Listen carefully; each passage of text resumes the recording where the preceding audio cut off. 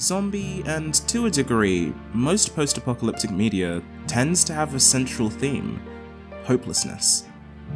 The world you once knew is torn from you due to circumstances beyond your control, and you're left in a harsh new world that exists only to torment you, to pin you against others suffering just the same as you.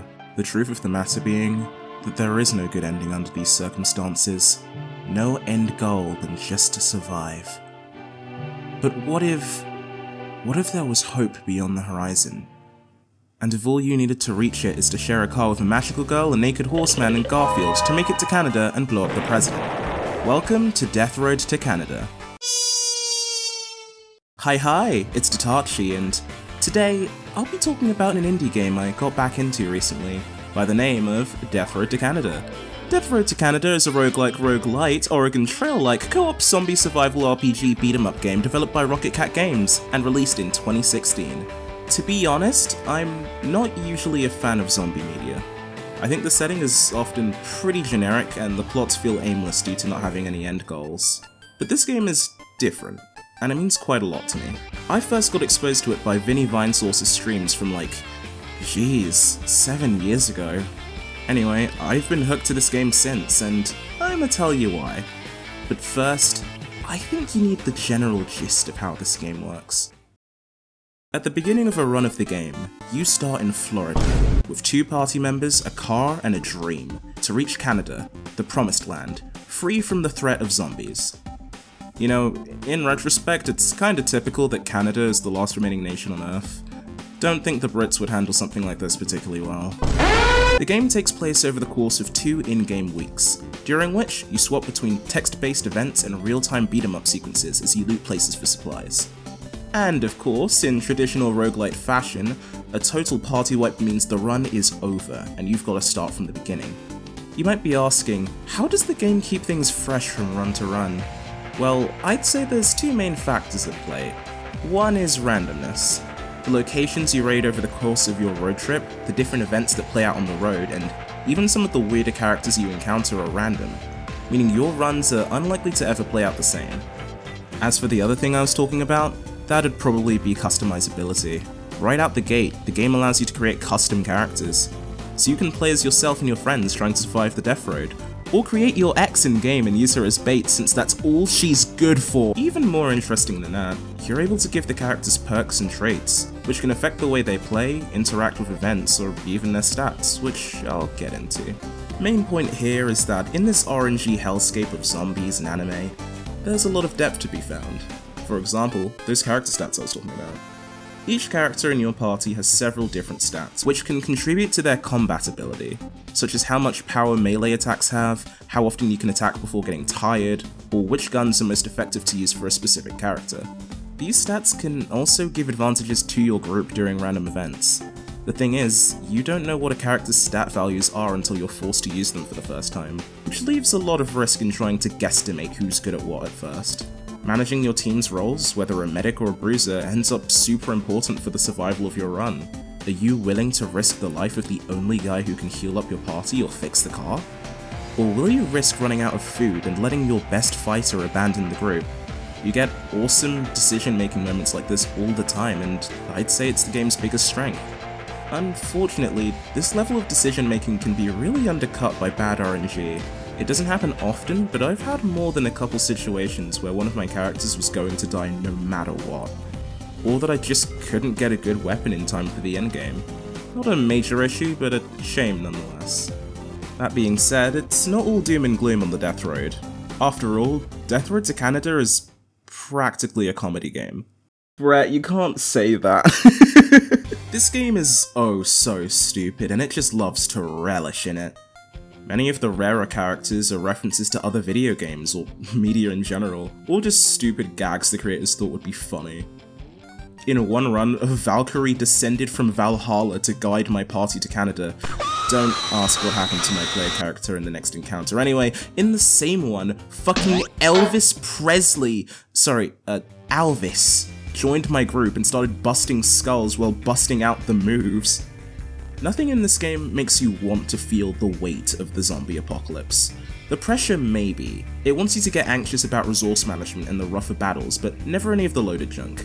It doesn't take itself too seriously. This game is about a group of jerks pursuing the one hope left in the world, whether it takes a few bandit encounters or toilet genies to get there. Also, yes, the toilet genie is real, by this game. I think that's the best way to describe this game, though. Based around hope. Something that I've chosen to neglect until now are the zombies themselves. As the, you know, cause of the apocalypse, zombos are representative of the main threat in this world. They're pretty run-of-the-mill, slow-moving googlies who'll touch you up like a Minecraft YouTuber if you get too close and give you a big smooch. Three of those and your typical party member is Deadzo. The real threat comes from when they're together as a horde because they slow you down when they grab you, some of the endgame challenges become total crowd control nightmares that basically require you to be stocked up on guns and bombs, especially when it comes to sieges. These are semi-common events where you're locked in one small map and are tasked with surviving for a certain amount of time before you can escape, which culminates in some of the most dramatic encounters in the game. Specifically, the siege in the Lost City and the border of Canada. I think the game sets up its endgame really well, it's a little tropey having the game tell you that you're about to enter the last trading area, while the days left to Canada counter hits 1, but like, I feel like the fact that you drive through a literal mountain of corpses is never not going to hit. At least for me. Especially with the amount of runs I've had end here. Never feels less shitty. After all, the game makes it pretty clear how many people have attempted the death road before you, but the majority perish before they can reach salvation. But let's say, in spite of everything, you make it to the border. You've likely lost a lot up to this point. You've probably gone through how many bandit checkpoints at this point and been left without a car multiple times. Maybe that fan favorite party member was lost to the horde. So when you ram that car into the massive zombies at the border and cross over that bridge for the first time all while the music swells, it's a powerful moment as your final battle truly begins. And then a giant Canada mech drops from the sky to remind you what game you're playing. So, was that really a point to any of that? Well, eh. I do find the hopeful theming of this game really compelling, but I'm not pretentious enough to claim it's the more important element when compared to the game's strong gameplay and killer charm. Although, as one last segment, I do want to sink my teeth into this game's charm and identity more, more specifically its presentation. I think this game's pixel art is great, I think it was the perfect choice for a game like this. I feel like with any other art style, the weight of the situation would be a little too heavy. Here, the pixel art is readable, animated in a cost-effective but still nice-looking way and fits the tone. And even then, the simpler art is enhanced by the grain filters and static, making the game almost look like a lost VHS recording. I don't know, it's just fun theming. And then there's the fucking music, which I've been playing it throughout the video, right? You've heard it. This soundtrack is based around a jazzy chiptune sound with a mix of ambient tracks.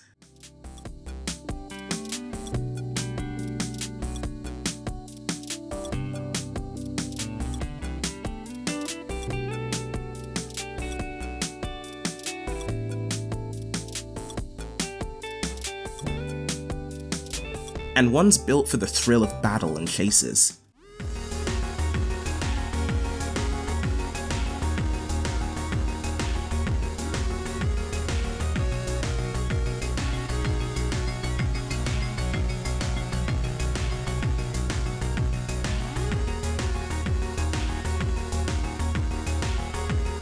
My favourites being Rotten Shotgun,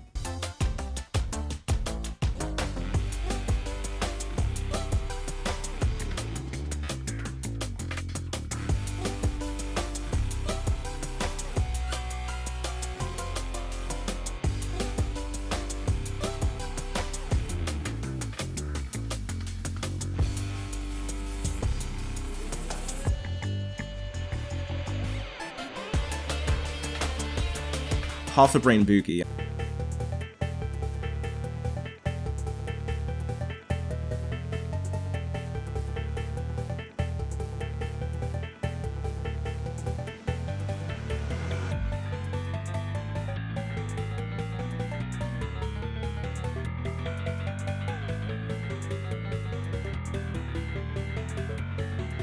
And of course, Rigor Mortis Rag.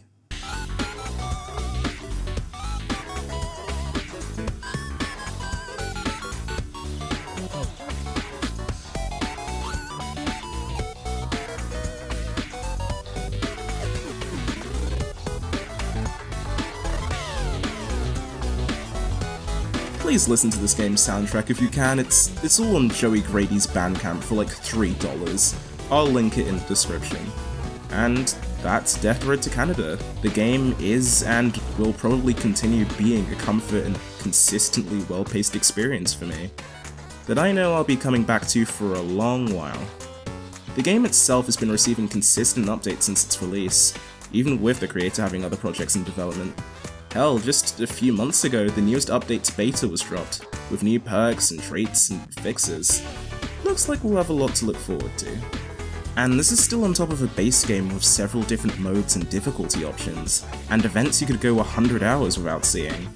So, what are you waiting for? Canada waits for no man. We alone can make the choice to make our hopes our reality. Together, it's about time we hit the road. And until then, I'll see you guys in the next one.